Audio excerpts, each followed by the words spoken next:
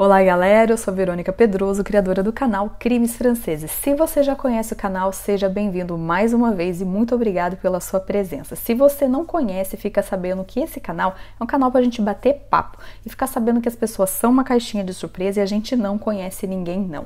A criminalidade ela existe em qualquer lugar do mundo e cabe a cada um de nós a gente cuidar da nossa segurança. Antes de começar o nosso caso de hoje, eu gostaria de falar para vocês do meu grupo de trabalho, os Detetives dos Fatos. Se eu não estivesse nesse grupo de trabalho, gente, eu não estaria aqui hoje falando com vocês, porque é graças à motivação desse grupo que eu estou aqui, que eu aprendi a publicar, que eu melhorei os meus vídeos e é por isso que você está assistindo aqui. Então muita gente fala que chato, Verônica falando de outros canais, mas gente, se não fosse esse grupo, vocês não iam me conhecer.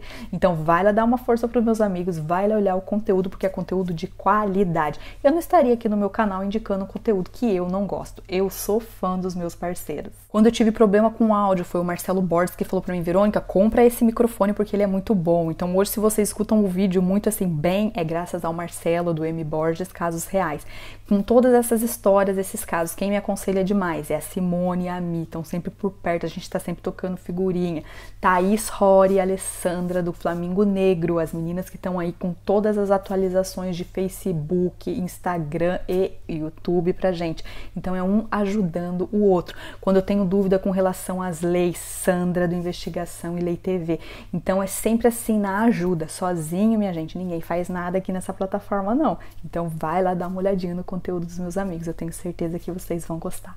A nossa história de hoje é uma história assim bem revoltante de um adolescente de 13 anos, pouquíssima idade, que tirou a vida dos pais, do irmão e tentou tirar a vida da irmã dele de 10 anos. E tudo isso porque ele não estava ali de acordo com a educação da mãe dele. É de revoltar, vocês vão ver isso comigo ao longo desse vídeo de hoje. A história vai começar no dia 27 de outubro de 2004, numa cidadezinha bem lá no norte da França, bem lá em cima, fica a 3 horas de Paris essa cidade, cidadezinha pequena com 300 habitantes somente.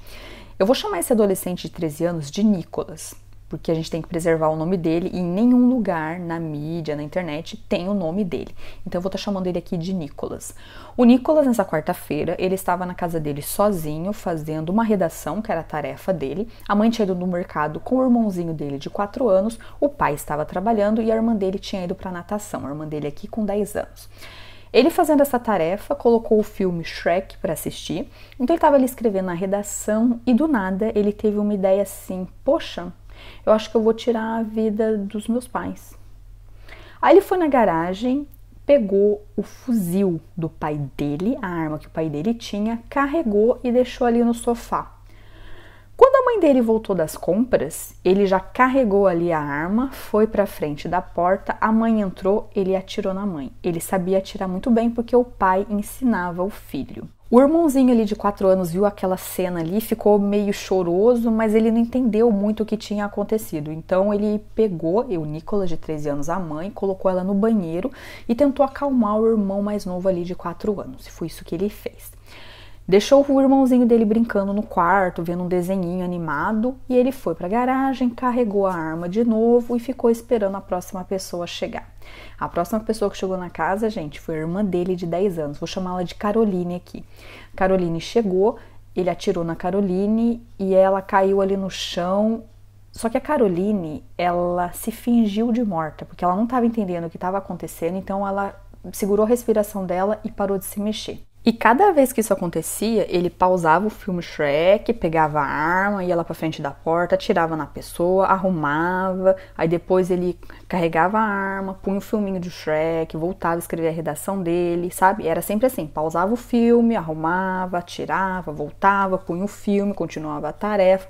Ele tinha esse ritual dele ali, sempre nesse filme Shrek. A irmã Caroline, vendo que o irmão de 13 anos, ele tinha ido lá pra garagem para estar tá carregando a arma, ela se arrastou ali um pouco da onde ele tinha deixado ela para morrer e ela conseguiu sair da casa através de uma janelinha que tinha no banheiro. Ela viu que a mãe dela estava no banheiro sem vida e ela correu até o vizinho mais próximo.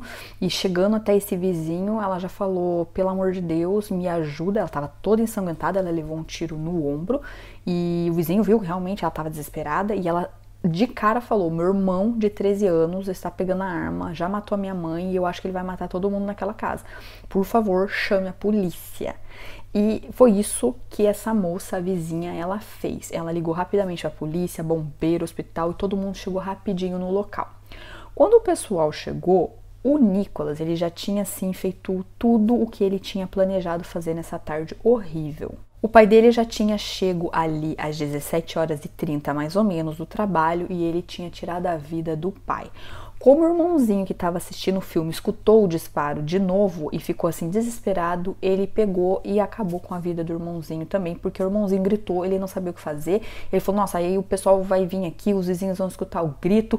Ah, eu tenho que fazer alguma coisa. Então, ali no calor da emoção, sem pensar, ele atirou também no irmãozinho dele. E ele não percebeu que a irmã não estava ali na casa. Então, ele estava ali todo nessa adrenalina de fazer todas essas coisas. Ele não se atentou que estava faltando o corpo da irmã dele dele. Depois que ele tirou a vida de todos os membros da família dele, porque ele imaginou que a irmã dele, a Carolina, ela tinha também perdido a vida. Ele pegou a bicicleta dele e saiu sem rumo. Ele queria sair ali da cena do crime. Só que conforme o tempo foi passando, ele foi pensando no que ele fez e ele viu: poxa, eu tenho 13 anos, eu não tenho dinheiro, não tenho carro, vou fazer o quê? Vou para onde?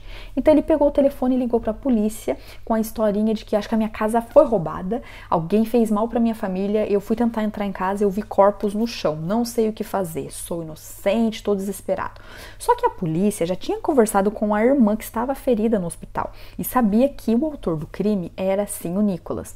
Então a polícia ficou batendo papo no telefone ali para tentar localizar o menino e eles conseguiram. Rapidinho a viatura chegou no local, recuperou o menino, só que a polícia ficou assim muito assim surpresa, porque caramba, um menininho pequenininho desse, parecia um anjo, lourinho, calmo, educadinho, falava com a polícia bem. A polícia falou: Nossa, é esse cara mesmo que matou a família inteira, sabe? A polícia, eles ficaram chocados quando eles viram o Nicolas. Era muito contraditório. No interrogatório, porque ele foi direto para a delegacia, que a polícia já sabia que sim, ele era o autor do crime, ele não confessou nada, ele ficava negando. Mas aí rapidinho a polícia falou: Olha, sua irmã ela sobreviveu e ela contou que foi você sim. Aí ele já falou: é, realmente fui eu. E ele começou a falar várias coisas que não tinha sentido, sabe? Ele tentava justificar de uma maneira que para a polícia eram coisas muito pequenas. Uma das justificativas dele era assim: eu sou um filho muito bom, eu não sei por que, que a minha mãe fica enchendo meu saco, querendo que eu arrume a cama. Eu fiquei bravo com ela e realmente eu tirei a vida da minha mãe porque eu não aguentava mais isso. Durante toda a investigação desse caso, todo mundo queria uma resposta do porquê ele fez tudo isso. A família, eles não tinham problemas com ninguém, eles não eram pais agressivos, violentos, que ficavam ali dando um mau exemplo. Eles davam sim uma educação para os filhos dele. A mãe de 38 anos, ela era assim um pouco rígida. Arruma sua cama, faça sua tarefa, ajude em casa. O pai, ele tinha 39 anos e ele trabalhava, então quem era a pessoa mais presente ali na casa era a mãe. Ela tinha até deixado de trabalhar para ficar com esses três filhos e ser uma mãe presente. Só que a educação dela não era essa educação oba-oba de hoje em dia, que pai mãe amigo de filho, camarada. Não. Ela gostava que as coisas estivessem certinhas. E o Nicolas, aos 13 anos dele, ele não gostava disso, não. Ele queria fazer as coisas conforme ele achava que era certo. E é por isso que teve esse atrito com a mãe dele. Mas é óbvio que isso não justifica um crime. Ele não poderia ter matado os pais dele por conta da maneira de educação dos pais. Eles não eram violentos, ele não tinha motivo nenhum pai trabalhador, mãe trabalhadora, esforçada. Uma coisa que ficou clara para os psiquiatras, o pessoal que fez a investigação, é que o Nicolas, ele tinha um ego muito grande. Ele sabia que ele era inteligente, ele sabia que ele era esforçado, ele sabia que ele era bom para jogar futebol. Então ele queria que a mãe dele reconhecesse isso e não ficasse cobrando tanto ele. Só que ela não reconhecia tanto. Para ela era tipo assim: "Poxa, você não tá fazendo mais do que a sua obrigação, arrumar sua cama é uma coisa que tem que fazer todo dia". Nesse dia do crime, ele não arrumou a cama dele e a mãe estava lavando louça e ela estava lavando uma colher de pau. E ela pegou essa colher de pau e bateu nas costas dele, de leve. Bateu e falou: Poxa, vai arrumar sua cama que você ainda não arrumou. Se você não arrumar, eu vou parar de comprar aquela sua revistinha França Fute, que é uma revista de futebol que ele adorava. Então a polícia e todos os psiquiatras acham que esse foi o motivo ele achava o cúmulo ele ser o filho bom, o filho inteligente, o filho top, e a mãe dele queria que ele arrumasse a cama. E quando a mãe dele falou: "Vou acabar aqui, não vai ter mais revistinha para você", ele decidiu tirar a vida da mãe. No início, a mãe era assim um problema para esse carinha de 13 anos, e quando ele matou a mãe, ele falou: "Poxa, meu pai vai ficar bravo comigo. Então agora eu vou ter que matar meu pai também". Ele não queria matar o pai, mas também acabou matando. Aí no final, o irmãozinho dele chegou chorando, ele não sabia o que fazer, tirou a vida do irmão e a irmã, ela tava ali e acabou morrendo. No julgamento desse cara, ficou claro que ele não tinha remorso nenhum pela morte da mãe e do pai. Ele fica super triste pelo que aconteceu pelo irmãozinho dele e pela irmã, isso ele fala claramente, mas com relação ao pai e à mãe, quando ele é questionado, ele fala: "Não, não, não sinto remorso, para mim é uma coisa que eu deveria ter feito". Ele fala várias vezes que ele se sentia preso na casa dele e ele precisava de liberdade. Então, quando ele ficou na cadeia esperando o julgamento, ele fala no julgamento que na cadeia ele se sentia livre, Olha que coisa. Falando mais um pouquinho aí do Nicolas para vocês verem que ele era assim um garoto normal como outro qualquer. Ele ia para escola, tinha amigos, jogava futebol, fazia outros esportes. Ele era muito bom em tudo que ele fazia. Ele era coroinha, gente. Ficava lá na igreja, sabe? Tinha uma educação muito boa, falava muito bem, era muito educado, mas escondia aí uma raiva que fez com que tudo isso acontecesse. No final do julgamento, ficou dito que ele pegaria uma pena bem pesada para a idade de 13 anos, de 18 anos de prisão. Ele não poderia pegar uma perpétua real que existe aqui na França para criminosos que são muito perigosos por causa da pouca idade dele, somente 13 anos. Então deram a pena máxima para a idade dele, que era 18 anos. E sabe o que vai acontecer o ano que vem? Ele já sai da cadeia de novo e vai viver aí uma vida normal, como se nada tivesse acontecido.